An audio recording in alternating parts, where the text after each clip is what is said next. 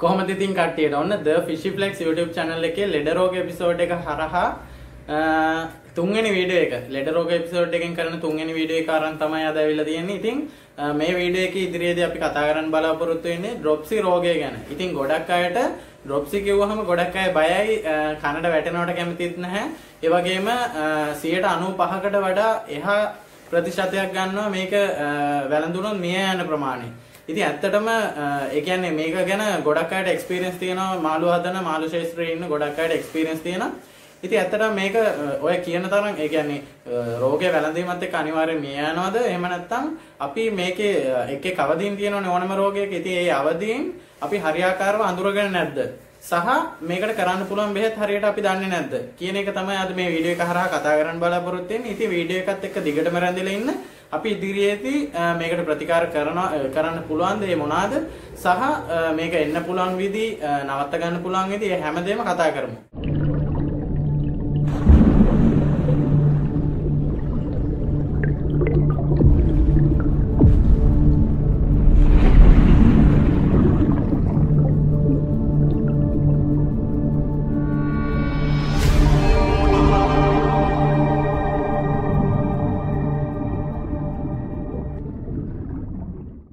ඉතින් මේ ඩ්‍රොප්සි රෝගයට අ, මුල් වෙන්නේ අ, බැක්ටීරියාව. ඉතින් මේ බැක්ටීරියාව අ, දැන් අපේ මසුන්ට ඇතිවීමත් එක්ක තමයි මේ රෝග ලක්ෂණයන් මේ රෝගය අ, ටිකෙන් ටික වර්ධනය වෙන්නේ අ, මසුන්ගේ අ, ශරීරය තුළ.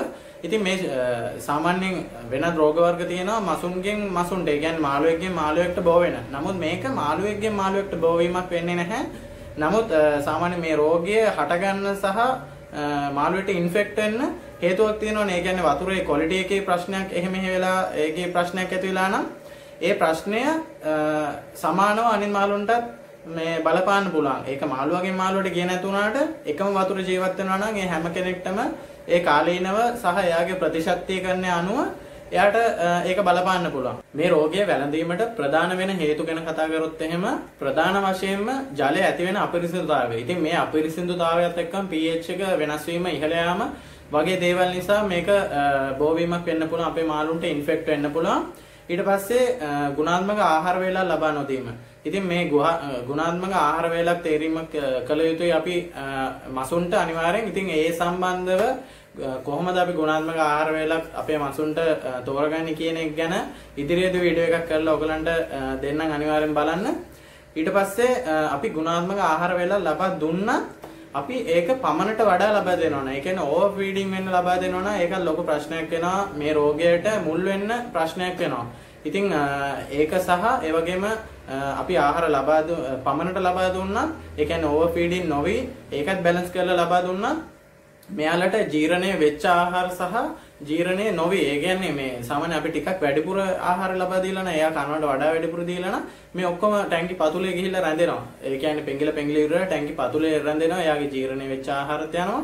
ඉතින් මේ ඔක්කොම මෙයාට ආයෙ බඩගින්නක් ආවම ඒ කියන්නේ අපිට කැම වේලක් දාන්න පරක් වුණොත් එහෙම සමහර විට මෙයා පතුලේ යනවා කෑම හොයාගෙන. ඉතින් ඒ යන අවස්ථාවක මෙයාට ඒ අ, ජීර්ණ වෙච්ච හෝ පරණ වෙච්ච ආහාර මොන හරි දෙයක් මේ කැවුනොත් එහෙම ඉතින් ඒක ප්‍රධාන වශයෙන් ආයෙ බලපානවා මේ රෝගේ ඉන්ෆෙක්ට් වෙන්න. මෙම බැක්ටීරියාව අපේ මසුන්ගේ වකුගඩු ආසාදනය කිරීම සිදු කරනවා. ඉතින් අ, ඊට පස්සේ මේ රෝගයේ අ, මුල් මුල අ, මුලා මූලාරම්භය ගැන කතා කරොත් එහෙම සාමාන්‍ය පොප්පයි ස්වභාවයක් පිටන්න පුළුවන් අපේ මසුන්ට. ඒ කියන්නේ ඔයගොල්ලෝ දැකලා ඇති මාළුන්ගේ ඇස් පිටතට નિરાයමක් සිදු වෙනවා. ඒ කියන්නේ අ, ඇහැ අ, එළියට පැනපු ස්වභාවයක් තියෙනවා. එක ඇහැ- ඇහැක් හෝ අ, ඇස් දෙකම ඉතින් මේ වගේ ස්වභාවයක් අ, පිළිටන්න පුළුවන්. මේ ස්වභාවය අඩුවෙන් වුණත් පිළිටන්න පුළුවන් ඩ්‍රොප්සි එන මුල් කාලේදී.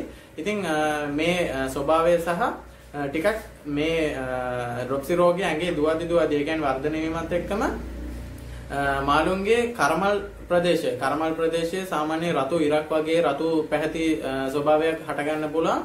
අ, ඒකෙනොත් ටිකක් එහාට ව්‍යාප්ත වීමක් වෙද්දී ඒ කියන්නේ වර්ධනය වීමක් වෙද්දී අ, මසුන්ගේ කර්ම මේ මොනවාද කොරපොතු මුළු ඇඟේම කොරපොතු අ, ටිකෙන් ටික. ටිකෙන් ටික අ, පිටතට නිරායමක් සිදු වෙන්න පුළුවන්. අවාසනාවන්ත ලෙස අ, ගොඩක් අය ඩ්‍රොප්සි රෝගය අඳුරගද්දී අ, පරක්කු වෙලා වැඩි. ඒ නිසාම තමයි අර 95%කට එහා වෙන්න අ, ප්‍රතිශතයකින් අ, මේ මසුන් අ, මිය යාමකට පත් වෙනවා කියන්නේ මේ රෝගය වැළඳීමත් එක්කම ඉතින් අපි අ, මුල් අවදීන් වලදී ඒ කියන්නේ සාමාන්‍ය පොප්පයි ගතියක් එද්දී එහෙම නැත්නම් කර්මල් රතු වේගන එද්දී අපි රෝගය අපිට කර්මන රතු වෙච්ච ගමන් අපිට කියන්න බෑ මේක රොක්සි කියලා. නමුත් ඒ අපිට පෙන්වන රෝග ලක්ෂණයන් වලට අපි බෙහෙත් කරලා ඉවරලා අඩු කරගත්ත ප්‍රශ්නයක් නෑ. මේක වර්ධනය වීමත් එක්කම තමයි රොක්සි වල ප්‍රධාන ඒ කියන්නේ රොක්සි වල ඇතුළාන්තයට එන්නේ වර්ධනය වීමත් එක්කම. ඉතින් මේක පොරොපොතු පිම්බිලා පීනන්න බැරුව කැම රිජෙක්ට් කරන අවස්ථාවල මාළුව දැක්කොත් ඉතින් අතරම බේර ගන්න අමාරුයි.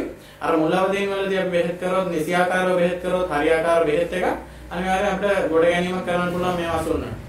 ඉතින් මේ කොරපුතු පිම්බීම සහ බඩ ඉදිමීම ගැන කතා කරොත් එහෙම යම්කිසි දියරයකින් මේ මෙයාගේ ඇඟ ඇතුලේ උදරය පිරෙනවා. ඒ ඉතින් පිරීමත් එක්කම තමයි මෙයා එන්න එන්න පිම්බෙන්නේ.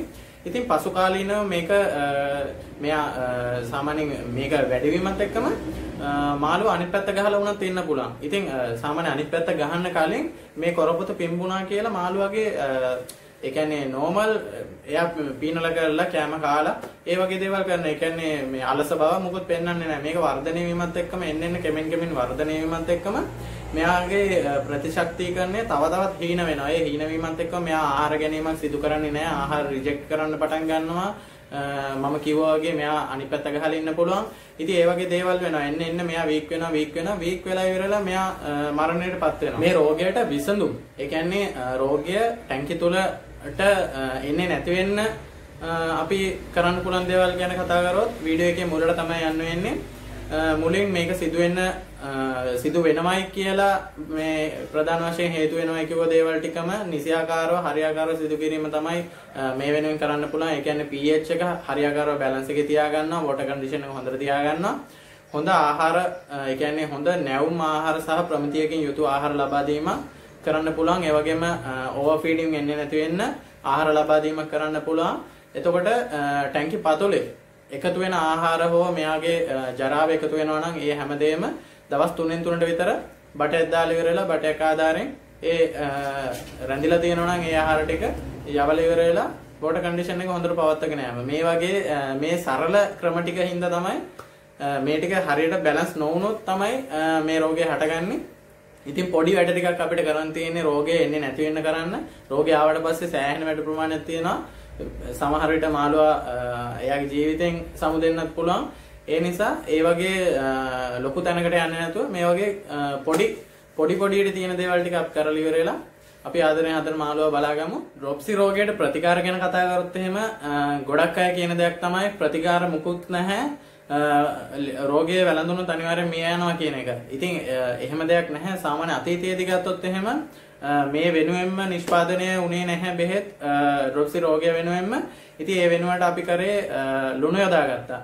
ලුණු යොදා ගැනීමක් සිදු කරා මේ ලුණු යොදා ගැනීමත් එක්කම ආහාර ජීර්ණ පද්ධතියේ ප්‍රශ්නයක් තියෙනවා නා. ඒ කියන්නේ ඒක හරියාකාර සිද්ධ වුණේ නැත්තම් ආහාර ජීර්ණ පද්ධතිය ලිහිල් කරලා දෙනවා හරියාකාරව නිසි පරිදි ආහාර ජීර්ණය ජීර්ණය වෙන්න අවශ්‍ය පරිසරය උදා කරලා දෙනවා මේ ලුණු වලින්. ඉතින් මත්ස්‍යයාගේ ශරීරය තුල. ඉතින් එතනින් ගියාම ඇමොක්සලින් ඇමොක්සලින් මිලිග්‍රෑම් 500 කරලා වතුර ලීටර් 10කට එකතු කර ගැනීම සිදු කරනවා. ඉතින් මේ එකතු කරගෙන කරගෙන දවසකට පස්සේ ඉඳලා 125 වෝටර් චේන්ජස් දෙනවා. ඒ වෝටර් චේන්ජස් දෙද්දී අපි ආය අඩු වෙන ප්‍රමාණයට අලුතෙන් වතුර එකතු කර ගන්නවානේ. ඒ එකතු කරගද්දී හොඳ සීසන්. ඒ කියන්නේ සාමාන්‍ය මේ ජලයේ තියෙන පාරාමිතීන් හැම දෙයක්ම හරියාකාර නිසි පරිදි පවතින ජලය තමයි එකතු කර ගැනීමක් කරගන්නේ. ඉතින් මේක රෝගයේ මුල ඉඳලා මාළුවා රිකවර් වෙනකම් සිදු කරගෙන යනවා. ඉතින් එතනින් ඒ වගේම එප්සම් සෝල්ට් සයින්ද ලුණු කියන්නේ අපි. ඉතින් එප්සම් සෝල්ට් යූස් කරන්නත් පුළුවන් මේකට. දැන් අපි මේ දේවල් කරද්දී විදේශීය රටවල් තුල මේ රෝගය සඳහාම නිෂ්පාදනය වෙන බෙහෙත් වර්ග වගේම ආහාර වර්ග තියෙනවා. ඉතින් අපේ ලංකාව තුළ ඒ දේවල් තිබ්බේ නැහැ. නමුත් මේ වර්තමානයේදී ලංකාව තුළට ඒ දේවල් ආනයන ආනයනය කරන්න, ඒ කියන්නේ බෙහෙත් වර්ග ආනයනය කරන්න සහ ලංකාව තුළ නිෂ්පාදනය කරන්නත් පටන් අරන් තියෙනවා. ඉතින් මේ බෙහෙත් වර්ග කිහිපයක් ගැන කිව්වොත් එහෙම බැක්ටෝගාඩ් කියලා බෙහෙත් එකක් තියෙනවා, පැරාගාඩ් කියලා එකක් තියෙනවා. එතකොට මෙලාෆික්ස් එතකොට මොනවාද ඩිස්ටින්ජි එතන එතනින් ගියාම ඊට පස්සේ ඕෂන් ෆ්‍රී එකේ ඉන්ටර්නල් බැක්ටීරියා ඇන්ඩ් අල්සර්වේ කියලා බෙහෙත් එකක් යනවා. ඉතින් මේ වගේ බෙහෙත් වර්ග ගොඩක් තියෙනවා. මේ කිව්ව බෙහෙත් ගොඩක් හොඳයි. ගොඩක් ඒ කියන්නේ යූස් කරලා එක්ස්පීරියන්ස් තියන අය ඉන්නවා ගොඩක්. ඉතින් හොඳ හොඳ මට්ටමක පවතින බෙහෙත් ටිකක් තමයි ඔයගලන්ට ඔය මම කිව්වේ. ඉතින් මේ බෙහෙත් ටික හරියාකාරව යූස් කරන්න පුළුවන්. ඒ කියන්නේ සාමාන්‍යයෙන් මේ හැම සාමාන්‍ය බොටල් එනවා නම් මොන හරි පවුඩර් එකක් මොන හරි ඩිස්ටින්ජි එහෙම සාමාන්‍යයෙන් ගොඩක් දුරට පවුඩර් එකක් වගේ එකක් කියනවා ලුණු ලුණු ගතියක් වගේ එකක් එන්නේ. ඉතින් මේ හැම එකකම සඳහන් වෙනවා මේක යොදා ගන්න ඩෝසේජ් එක. මේවා වතුරට එකතු කරගන්න පුළුවන් ප්‍රමාණය. ඉතින් මේ එකතු කරගන්න අවස්ථාවේදී අපි දැනගන්න ඕන තව දෙයක් තියෙනවා බෝතලේ තිබ්බ පළියට යූස් කරගන්න බෑ. ඒකේ නෝමල් පොදුවේ මේ මේ ප්‍රමාණයන් මේ මාළුන්ට මේ මේ වතුර ප්‍රමාණයට යූස් කරන්න පුළුවන් කියනවා මිසක් ඒ රෝග රෝගය තියෙන ඒ කියන්නේ රෝගය ගොඩාක් වැළඳිලාද පොඩ්ඩක් වැළඳිලාද ඒ ඒ ඒ මේ අවදීන් වලට යූස් කරන්න පුළුවන් විදිහ එහෙම නැත්නම් ඉන්න මසුන් වර්ග අනුව යූස් කරන්න පුළුවන් විදිහ කියලා දෙයක් ඒකේ නැහැ. ඉතින් අපි බෙහෙත් කරන අවස්ථාවේදී ඔයලා බලන්න ඕනේ අපි ගාව ඉන්න මාළුවා සහ මාළුවට ඒ ඩෝසේජ් එක ගැලපෙනවද? කියන එක ගැන හොඳ අවබෝධයක් නිසි අවබෝධයක් සහිතව තමයි මේ ට්‍රීට්මන්ට් කරන්න ඕනේ අනිවාර්යෙන්. නැත්නම් ඕවර් ඩෝසේජ් ගියොත් අනිවාර්යෙන් මාළු ඉවරයි. ඩෝසේජ් එක අඩු වුණත් එතනදි ප්‍රශ්නයක් වෙනවා රිකවර් වෙන්න සමහර විට රිකවර් වෙන්නේ නැති වෙන්න පුළුවන්. සමහර විට කල් ගන්න පුළුවන් රිකවර් වෙන්න. ඉතින් හැමදේම බැලන්ස් කරගන්න නම් හොඳ අවබෝධයක් සහිතව තමයි මේ ට්‍රීට්මන්ට් කරන්න ඕනේ. මොනහරි ඒ කියන්නේ සාමාන්‍ය මොනහරි අවශ්‍යතාවයක් උදව්වක් ඕන වුණොත් එහෙම මාව සම්බන්ධ කරගන්න ඕන වුණොත් මගේ WhatsApp නම්බරේ 075 49 10 654 ඒ වගේම Instagram තියෙනවා the fishyflex මගේ YouTube blog එකමයි ඒක තියෙන්නේ. Facebook එකේ page එක තියෙනවා the fishyflex කියලා එකක් තියෙන්නේ ඒකෙත් same logo එක ඉතින් ඒ හරහා සම්බන්ධ කරගන්නත් පුළුවන් මාව. හැමදාම වගේ මේ වීඩියෝ එක ඉස්සරහට මේ ඔයගලන්ට මාව පේන්න තිබ්බට මමත් මේ රෝග ගැන හොයලා බලනවා මමත් දැනටත් බෙහෙත් අහනවා කට්ටියකින්. ඉතින් ශේෂ්ත්‍රයේ හොඳ මිනිස්සු ඉන්නවා. හොඳ මිනිස්සු කොට්ටාශයක් ඉන්නවා. ඉතින් ඒ මිනිස්සු අනිවාර්යෙන් ඕන උදව්වක් කරන්න ලෑස්ති වෙලා ඉන්නවා. ඉතින් ඒගොල්ලන්ගෙන් විස්තර අරන් මගේ මාළුන්ටත් බෙහෙත් කරලා ඉතින් ඒ එක්ස්පීරියන්ස් ඔක්කොම තමයි ඔයගොල්ලොත් එක්ක ෂෙයා කරගන්නේ. ඉතින් මේ මේ වීඩියෝ එක ඉස්සරහා මම හිටියට මේක පිටපස්සේ ලොකු ක්‍රූ එකක් ඉන්නවා. මේ වෙනුවෙන් උදව් කරන ගොඩක් අය ඉන්නවා. ඉතින් ගොඩක් අයගේ අදහස් සහ එක්ස්පීරියන්ස් තියෙනවා මේ වීඩියෝ එක පිටපස්සේ. ඉතින් ඒ හැම කෙනෙක්ටම ස්තුතිවන්ත වෙනවා. ඉතින් ඔන්න වීඩියෝ එකේ අන්තිමටම ඇවිල්ලා තින්නේ. නිමාවටපත් වෙන්න ළඟයි. ඉතින් ඔයගලන්ට කියන්න තියෙන්නේ මම කලින් වගේ සෝෂල් මීඩියා හරහා මාව සම්බන්ධ කරගන්නවා නම් ඒ විදිහට සම්බන්ධ කරගන්න පුළුවන්. ඒ වගේම ඔයා channel එකට අලුත් නම් channel එකේ බලන බලන පළවෙනි වීඩියෝ එක නම් ඔයා සුරතල් මත්සීන්ට ගොඩක් ඇලුම් කරන ආදරය කරන කෙනෙක් නම් channel එක අනිවාර්යෙන් subscribe කරලා තියාගන්න bell icon එක click කරන්න ගිහිල්ලා බලන්න වීඩියෝස් කරලා තියෙනවා තව ඉතින් ඔයගලන්ගේ යාළුවොත් එක්ක ෂෙයා කරගන්න ලයික් කරන්න. ඒ වගේම පල්ල කමෙන්ට් සෙක්ෂන් එක අනිවාර්යෙන් ඔයාලට කොහොමද මේ වීඩියෝස් ෆීල් වෙන්නේ? මගේ channel එක ගැන කොහොමද හිතෙන්නේ? ඉතින් ඒ හැමදේම කමෙන්ට් සෙක්ෂන් එකේ කමෙන්ට් එකක් දාන්න සහ මොන හරි අවශ්‍යතාවයක් තියෙනවා නම් දැනගන්න හෝ මොන හරි කලින් වගේ සම්බන්ධ කරගන්න. එහෙනම් වීඩියෝ එකත් එක්ක හිටියට ගොඩක් ස්තුතියි. මේ වගේ හොඳ වීඩියෝ එකක් ලබන සතියේ තරම් එනකන් එහෙනම් ඔයගලන්ට සුබම සුබ දවසක් කියලා ප්‍රාර්ථනා කරනවා.